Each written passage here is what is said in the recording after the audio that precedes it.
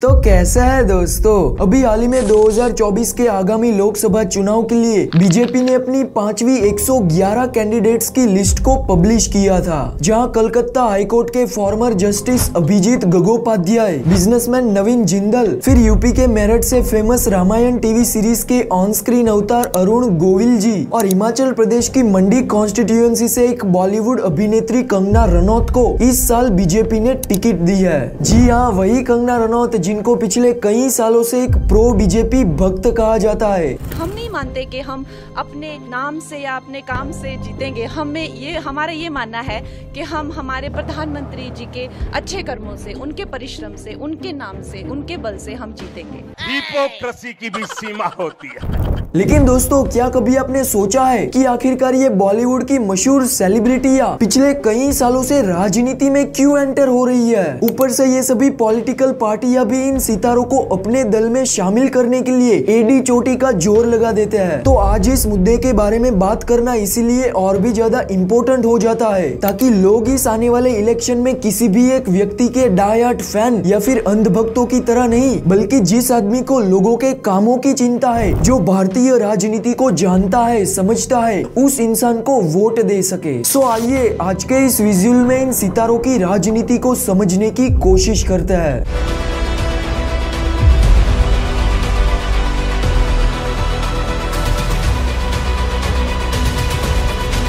वो एक साधारण मनुष्य नहीं है। उनका जन्म जो है इस देश के उद्धार के लिए हुआ है। दोस्तों, आज पूरी दुनिया में इन सेलिब्रिटीज के राजनीति का प्रभाव, जिसे एक सेलिब्रिटी पॉलिटिक्स या फिर पॉलिटिकल स्टार पावर भी कहा जाता है, वो कोई नई बात नहीं है। आज हम सब लोग ये बात जानते हैं कि इन मशहूर सितारों का एक स्टारडम होता है, एक फ़ैन बेस होता है, जिसके पीछे लोग इनके दीवाने होते हैं।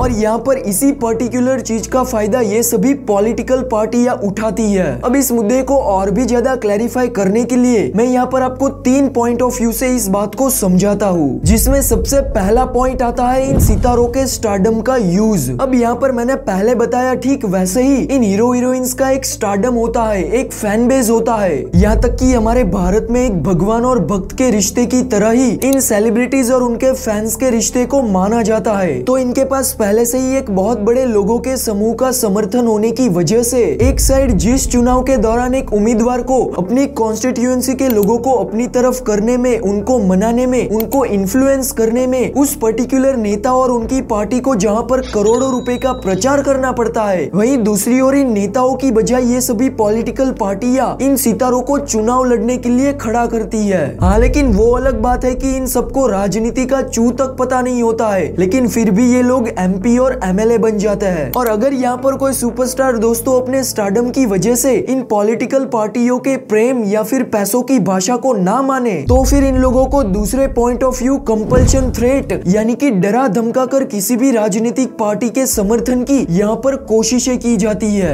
इसी का ही दोस्तों एक मशहूर एग्ज़ाम्पल है इंदिरा गांधी की इमरजेंसी जब उस आपातकाल के दौरान पूरा विपक्ष नजरबंद था, तब उस टाइम पर कुछ मशहूर हस्तियों ने कांग्रेस के रूल्स एंड रेगुलेशंस का पालन करने से साफ़ इनकार कर दिया था, जिसके चलते दोस्तों, दूसरे ही दिन इन सभी मशहूर हस्तियों के घर पर इनकम टैक्स की रेड पड़ी थी। और अब यहाँ पर दोस्तों, इन दोनों पॉइंट ऑफ़ व्यू से तो 99 परसेंट सेलिब्रिटियाँ राजनीति में आने के लिए मान जाती है। और जब ये लोग किसी भी पॉलिटिकल पार्टी का प्रतिनिधित्व करते हुए चुनाव लड़ने के लिए तैयार हो जाते हैं तो फिर यहाँ पर तीसरा और सबसे बड़ा पॉइंट ऑफ़ व्यू आता है वोटर्स का सॉफ्ट माइंड वॉश अब दोस्तों, ये एक सिंपल सा माइंड सेट है। कि आज के टाइम में जो भी व्यक्ति किसी मशहूर सेलिब्रिटी को फॉलो करता है तो बट ऑब्वियसली लोगों का इन स्टार्स के प्रति एक विश्वास, एक भरोसा होता है। लोग उनकी लाइफस्टाइल से काफ़ी ज़्यादा इन्फ्लुएंस होते हैं। और इसलिए लोगों को लगता है कि ये स्टार अगर हमारे इलाके में एमएलए के तौर पर चुने गए तो फिर ये जनता के लिए बहुत ही अच्छा काम करेंगे।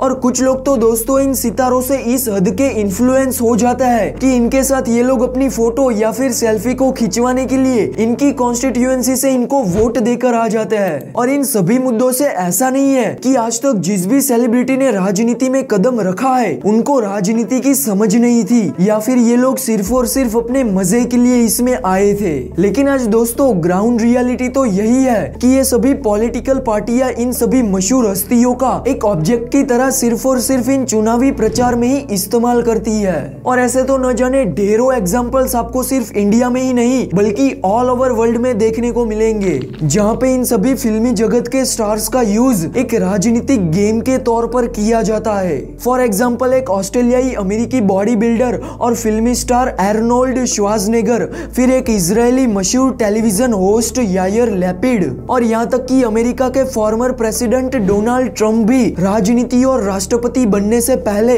एक मशहूर टेलीविज़न व्यक्तित्व थे, जो आए दिन राजनीति पर चर्चा करने के लिए फोक्स न्यूज़ पर दिखाई पड़ते थे। मगर दोस्तों, आज हमारे देश में इन सितारों के राजनीति की कहानियाँ बहुत सारी है। इनफैक्ट आज के टाइम में आप लोग पैन इंडिया यानी कि साउथ के कई सारे सुपरस्टार्स को एक एक्टिव पॉलिटिशियंस के तौर पर काम करते हुए देखोगे। और रियलिटी में भी दोस्तों, आज ये सभी लोग जनता के लिए काम करते हैं। यहाँ तक कि उनके लिए प्रोटेस्ट भी करते हैं। लेकिन जब इस राजनीति में बात आती है बॉलीवुड की तो यहाँ पर सारा का सारा मामला गुड़ गोबर हो जाता है। मतलब कि आप लोग खुद इन सेलिब्रिटीज के चुनावी प्रसार के इन स्लोगन्स को देखिए, जहाँ पे एक सेलिब्रिटी का इलेक्शन स्लोगन था कि आप मुझे वोट दो और मैं आपको रॉयल एनफील्ड की सवारी कराऊँगी। फिर दूसरे का था कि मेरे लिए आप लोग वोट करिए, क्योंकि मैं एक छेल छबीलो गुजराती हूँ। फिर एक तीसरे का था कि मेरा तो एक ही मंत्र है, ज़िंदगी झंडवा, फिर भी घमंडवा।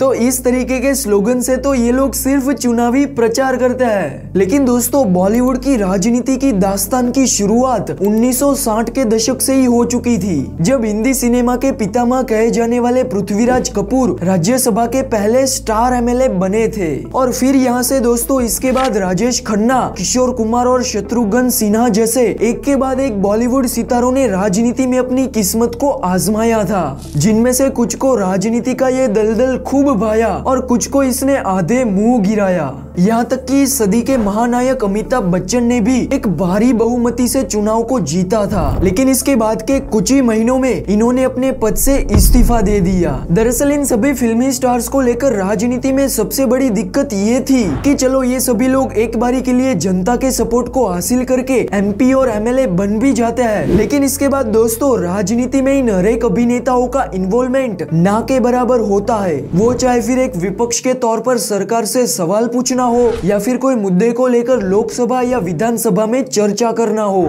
या फिर दोस्तों, अपनी कॉन्स्टिट्यूएंसी के कामों की निगरानी हो। इन सभी तरीकों की चीज़ों में एक एमपी या फिर एमएलए बनने के बाद इन अभिनेताओं की जो रिस्पॉन्सिबिलिटी होती है, उनमें से एक भी तरीके का काम ये लोग नहीं करते हैं। और इसीलिए दोस्तों, आज तक की भारत की पूरी राजनीति में शामिल होने वाले इन सभी सेलिब्रिटीज में से केवल एक सुनील दत्त साहब जो कि संजय दत्त के पिताजी थे। सिर्फ़ इन्होंने ही अपने स्टार्डम को समाज के लोगों के सेवा के कार्यों पर हावी नहीं होने दिया। और आखिर तक दोस्तों, इन्होंने अपने वोटर्स के लिए काम करते हुए कैबिनेट का पद संभाला था। तो यहाँ पर आप लोग फ़र्क साफ़ देख रहे हो कि एक साइड पर आज ऐसी सेलिब्रिटी या मौजूद है जो सिर्फ़ और सिर्फ़ एक दिखावे या फिर कोई भी एक्सवाइजेड रीजन की वजह से चुनाव लड़के राजनीति में एंटर होते हैं। लेकिन इसके बाद ये लोग अपने पूरे कार्यकाल के दौरान राज्यसभा या विधानसभा में किसी मुद्दे पर दो मिनट के लिए बात करना तो छोड़ो, बल्कि इन लोगों की असेंबली में अटेंडेंसी पंद्रह प्रतिशत से कम होती है। अरे यहाँ तक के रिपोर्टर्स के प्रेस मीट में जब अभिनेता से राजनेता बने कुछ तीन चार लोगों को इन प्रेस रिपोर्टर ने कुछ सवाल पूछे तो उनमें से कुछ का ऐसा मानना था कि भूटान पहले भारत का हिस्सा था। कईयों को हमारे देश के पहले प्रेसिडेंट का नाम तक नहीं पता था। हमारा राष्ट्रगीत किसने लिखा है, वो बात भी पता नहीं थी। अरे, यहाँ तक की कुछ अभिनेताओं को तो जिस पार्टी से वो लोग बिलोंग करता है, उस पार्टी के बारे में भी कुछ नहीं पता था। सो आप लोग खुद सोचिए कि क्या ये लोग सच में जनता के लिए काम करते होंगे? और मैं यहाँ पर किसी भी आदमी को क्रिटिसाइज नहीं कर रहा। जैसे हमारे हाथ की पाँचों उंगलियाँ एक जैसी नहीं है, वैसे इन सेलिब्रिटी से राजनेता बने हुए इन सभी लोगों में कुछ सुनील दत्त साहब जैसे भी राजनेता थे, जिन्होंने सच में अपने समाज के लिए एक बहुत बेहतर काम किया था, जो की काबिले तारीफ़ भी है। मगर मैं यहाँ पर आप लोगों से सिर्फ़ एक क्वेश्चन पूछता हूँ कि क्या आप लोग इस आने वाले चुनाव में एक ऐसे नेता को वोट देंगे, जिनकी सिर्फ़ और सिर्फ़ एक लाइफस्टाइल से आप लोग इन्फ्लुएंस हो, जिनकी एक्टिंग के आप लोग दीवाने हो? मगर इन इन सुपरस्टार्स को आपकी कॉन्स्टिट्यूएंसी में काम करने में कोई दिलचस्पी नहीं है। और ठीक यही दूसरी ओर आपके सामने एक ऐसा नेता मौजूद है, जो सही मायनों में जनता के कामों को समझता है, उनके लिए काम करता है। सो यहाँ पर इन दोनों नेताओं में से आप लोग किसको चूज़ करोगे? मुझे कमेंट्स में बताना ज़रूर। और यहाँ पर इन सभी सेलिब्रिटियों से भी ज़्यादा इनकी फ़िल्मों का, जो आजकल एक पॉलिटिकल पॉइंट ऑफ़ व्यू से मिसयूज हो रहा है, वो चाहे फिर एक धर्म या फिर जाति के नाम पर ही क्यों ना हो, मगर इन फ़िल्मों की राजनीति को भी आप सभी लोगों को इस विजुअल के पार्ट टू के तौर पर समझना है तो वो भी मुझे कमेंट्स में बताना ज़रूर। लेकिन तब तक के लिए मिलता है अगले विजुअल में। Good bye